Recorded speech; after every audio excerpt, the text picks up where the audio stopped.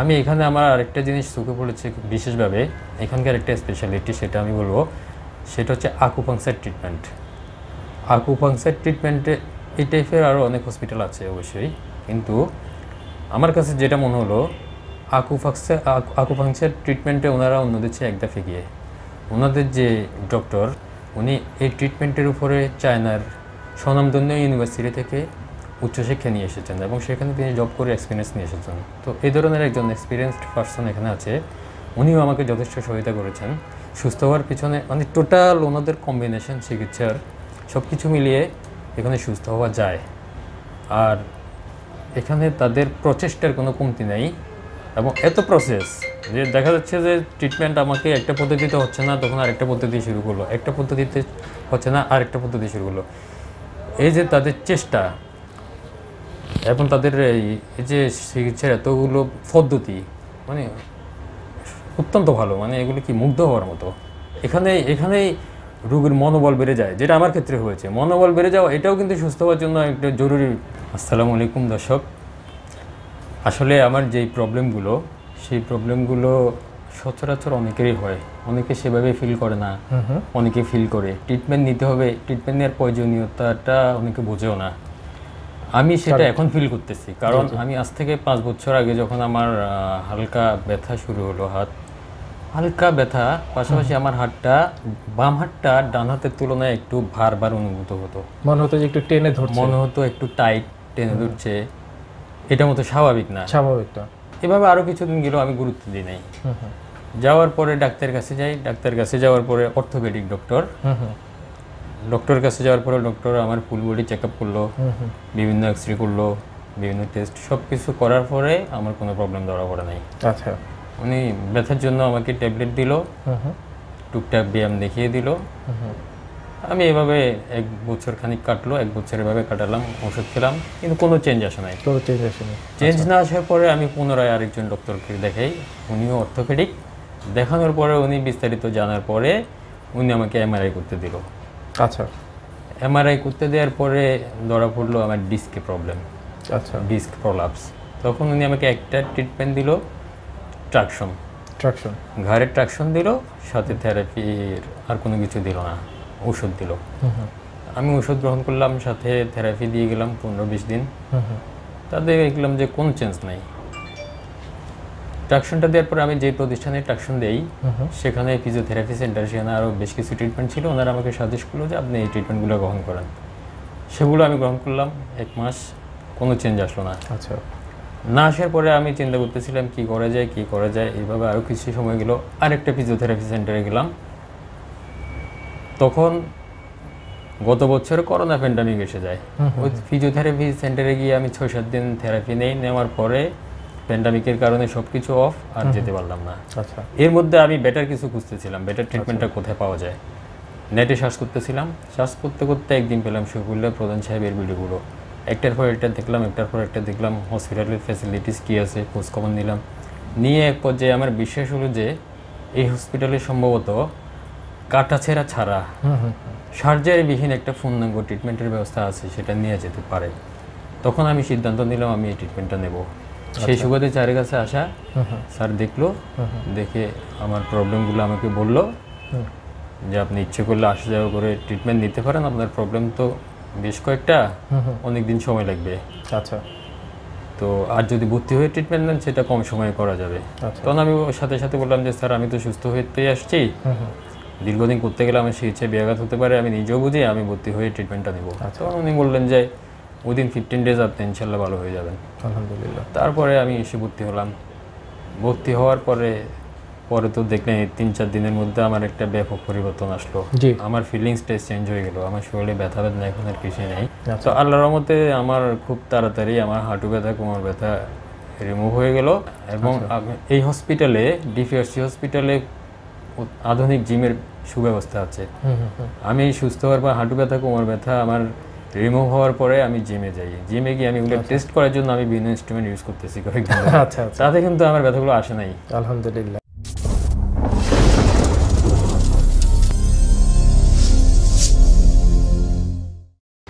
আসসালামু আলাইকুম। দর্শক আশা করি আপনারা সবাই ভালো আছেন এবং সুস্থ আছেন। মেডিকেল বিটের পক্ষ থেকে আপনাদের সকলকে স্বাগতম। দর্শক আমাদের কাছে আপনারা বিভিন্ন ধরনের প্রশ্ন করেন। আপনাদের অসংখ্য প্রশ্নের এবং আপনারা দেখা যাচ্ছে যে বিভিন্ন সমস্যার সমাধান আপনারা চান। যদি আপনারা এই ধরনের সমাধানগুলো আপনারা চান, সেক্ষেত্রে আমাদের আদার্স অনেকগুলো ভিডিও আছে যেগুলো আমাদের ইউটিউব চ্যানেলে আপনারা পেয়ে যাবেন।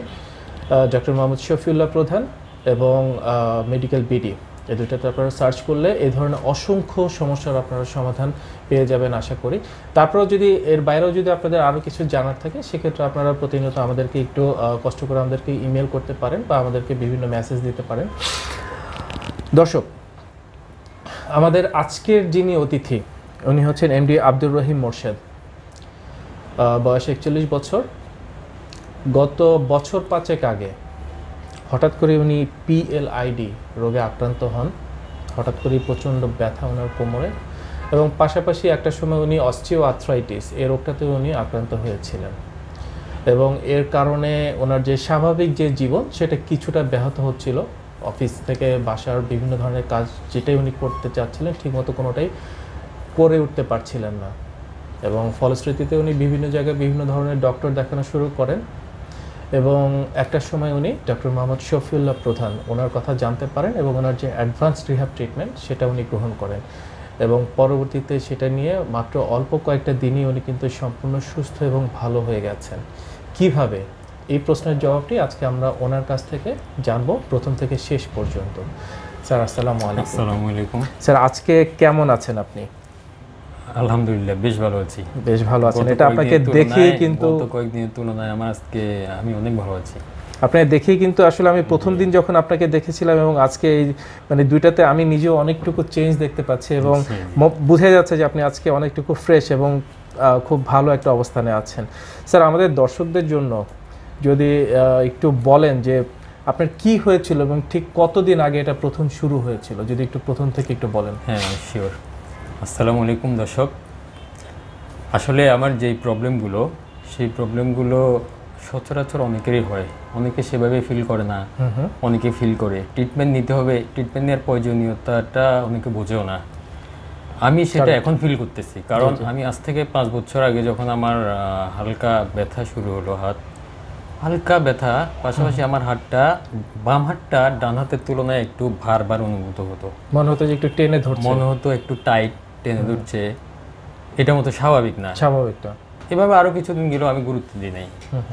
যাওয়ার পরে ডাক্তারের কাছে যাই ডাক্তারের কাছে যাওয়ার পরে অর্থোপেডিক ডক্টর। ডক্টরের কাছে যাওয়ার পরে ডক্টর আমার ফুল বডি চেক আপ করল বিভিন্ন এক্স রে করল বিভিন্ন টেস্ট সব কিছু করার পরে আমার কোনো প্রবলেম ধরা পড়ে নাই। আচ্ছা। উনি ব্যথার জন্য আমাকে ট্যাবলেট দিল টুকটাক ব্যায়াম দেখিয়ে দিল।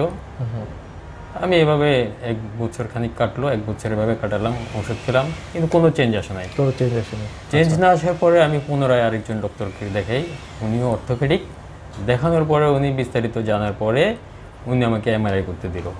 আচ্ছা। এমআরআই করতে দেওয়ার পরে ধরা পড়ল আমার ডিস্কে প্রবলেম আচ্ছা। ডিস্ক প্রলাপস তখন উনি আমাকে একটা ট্রিটমেন্ট দিল ট্রাকশন ট্রাকশন ঘাড়ের ট্রাকশন দিল সাথে থেরাপির আর কোনো কিছু দিল না। ওষুধ দিল। আমি ওষুধ গ্রহণ করলাম সাথে থেরাপি দিয়ে গেলাম পনেরো বিশ দিন। তাতে দেখলাম যে কোনো চেঞ্জ নাই। ট্রাকশনটা দেওয়ার পরে আমি যে প্রতিষ্ঠানে ট্রাকশন দেই সেখানে ফিজিওথেরাপি সেন্টার সেখানে আরও বেশ কিছু ট্রিটমেন্ট ছিল। ওনারা আমাকে সাজেস্ট করল যে আপনি এই ট্রিটমেন্টগুলো গ্রহণ করেন। সেগুলো আমি গ্রহণ করলাম এক মাস কোনো চেঞ্জ আসলো না। আচ্ছা। না আসার পরে আমি চিন্তা করতেছিলাম কি করা যায় কি করা যায় এইভাবে আরও কিছু সময় গেল।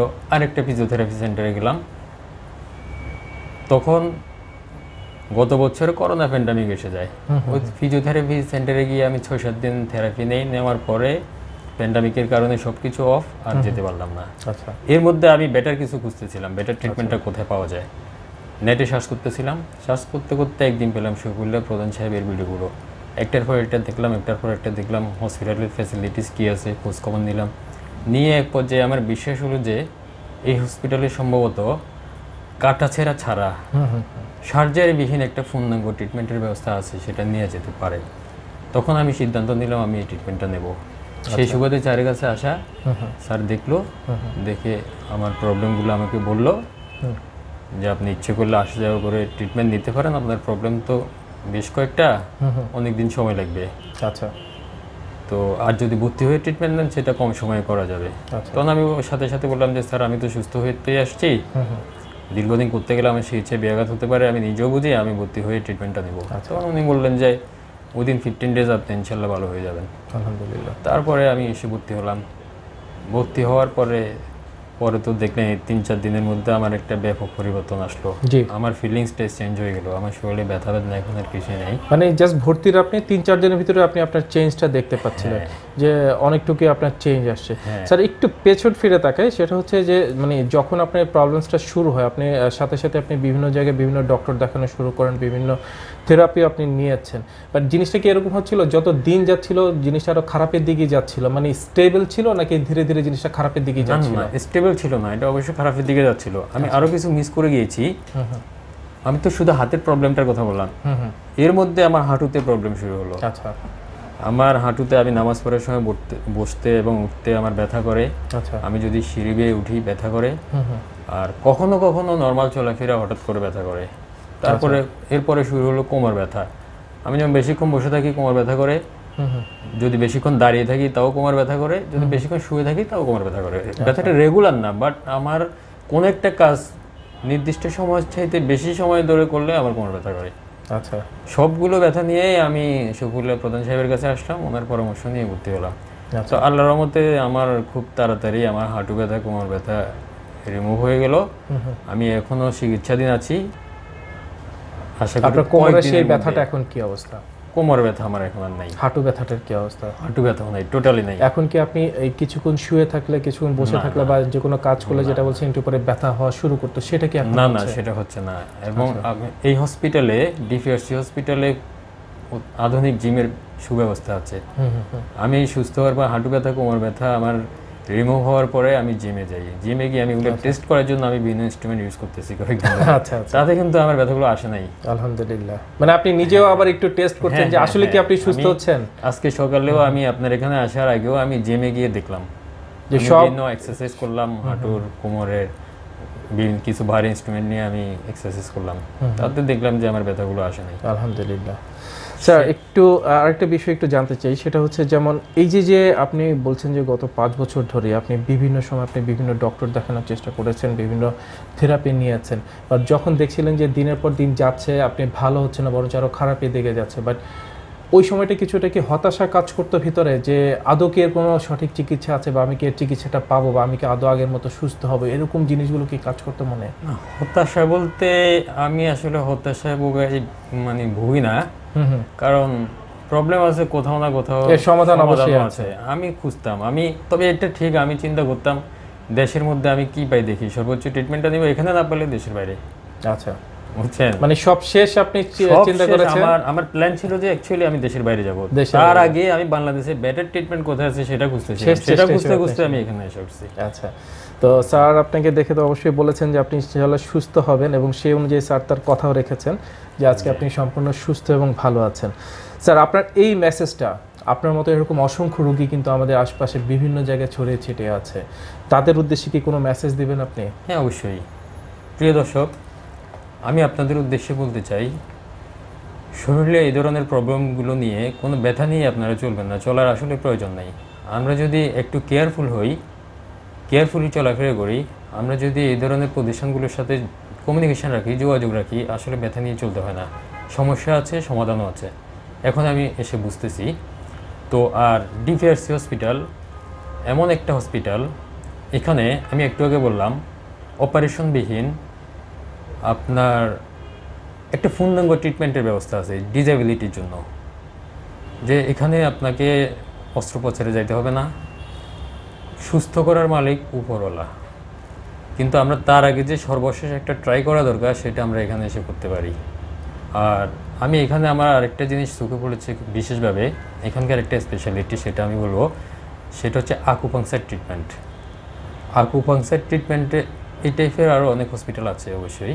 কিন্তু আমার কাছে যেটা মনে হলো আকুপাংসার আকুপাংসার ট্রিটমেন্টে ওনারা অন্যদের চেয়ে একদা ফেগিয়ে ওনাদের যে ডক্টর উনি এই ট্রিটমেন্টের উপরে চায়নার স্বনামধন্য ইউনিভার্সিটি থেকে উচ্চশিক্ষা নিয়ে এসেছেন এবং সেখানে তিনি জব করে এক্সপিরিয়েন্স নিয়ে এসেছেন। তো এই ধরনের একজন এক্সপিরিয়েন্সড পার্সন এখানে আছে। উনিও আমাকে যথেষ্ট সহায়তা করেছেন। সুস্থ হওয়ার পিছনে মানে টোটাল ওনাদের কম্বিনেশন চিকিৎসার সব কিছু মিলিয়ে এখানে সুস্থ হওয়া যায়।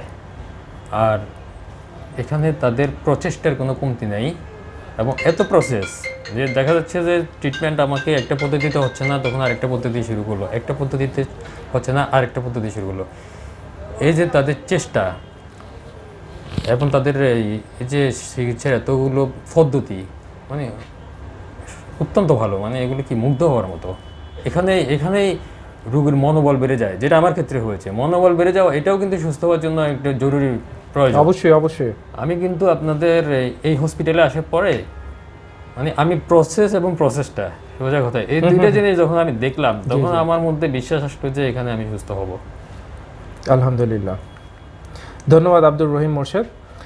আমরা, আমি আসলে সত্যি কথা বলতে এতক্ষণ আপনার কাছ থেকে জাস্ট মন্ত্রমুগ্ধের মতো আমি শুনলাম যে প্রথম থেকে শেষ পর্যন্ত, ঠিক মনের কথাগুলো আপনার ভিতর থেকে আমি শুনতে পাচ্ছিলাম। দর্শক, আপনারা নিজেরাও কিন্তু এতক্ষণ শুনেছেন। শুধু একজন, দুজন ভাই না, আমাদের এরকম অসংখ্য ভাই এবং বোন।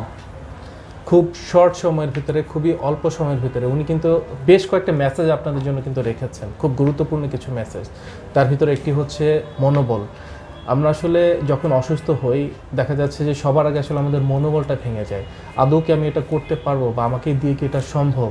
বা এর কি আসলে কোনো চিকিৎসা আছে কি না এটা কিন্তু আসলে বাস্তব একটি সত্যি কথা যে পৃথিবীতে যত ধরনের সমস্যা আছে, যত ধরনের রোগ আছে সব কিছুর একটা সমাধান আছে। এবং সমাধান আছে বলেই সেটা একটা রোগ। শুধু আমাদেরকে সেটা খুঁজে নিতে হয়। আমরা যদি সঠিকভাবে আমরা সঠিক মনোবল নিয়ে আমরা যদি সেটা খোঁজার চেষ্টা করি, আপনি অবশ্যই সেটা পাবেন। শুধু আমাদের হাতের নাগালি আছে। আমরা এই যেমন বিভিন্ন সমস্যা হলে আমরা চিন্তা করি যে আমরা দেশের বাইরে চলে যাব, ওখানে হয়তো আমরা উন্নত চিকিৎসা পাবো। আসলে তারাও তো মানুষ, তাদেরও কিন্তু একটা লিমিটেশন আছে। তারা যে প্রযুক্তি ব্যবহার করছে, সেই প্রযুক্তি কেন আমরা আমাদের দেশে ব্যবহার করতে পারব না? এই চিন্তাটা কিন্তু আসলে আমরা অনেকে করি না। আমাদের দেশেও এখন আন্তর্জাতিক মানের চিকিৎসা আছে। শুধু আপনার একটা সদিচ্ছা প্রয়োজন। ধন্যবাদ আপনাদের সকলকে আমাদের সঙ্গে থাকার জন্য। আসসালামু আলাইকুম। স্যার, আপনাকে অসংখ্য ধন্যবাদ। এই যে আপনার যে মূল্যবান মতামতগুলো আপনি শেয়ার করলেন, অসংখ্য অসংখ্য রোগী, অসংখ্য মা বোনেতে অনেক উপকৃত হবেন আশা করি। ধন্যবাদ আপনাকে। আসসালামু আলাইকুম। আসসালামু আলাইকুম। ধন্যবাদ সবাইকে।